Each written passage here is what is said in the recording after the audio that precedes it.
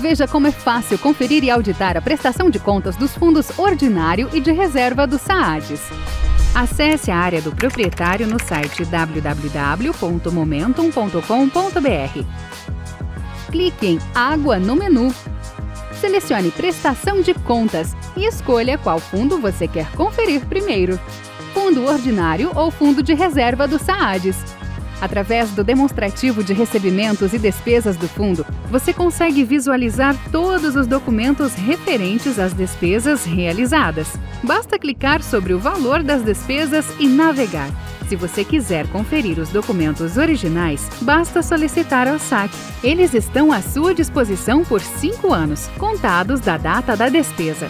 Os arquivos de prestação de contas são atualizados e publicados mensalmente no site. Acompanhe!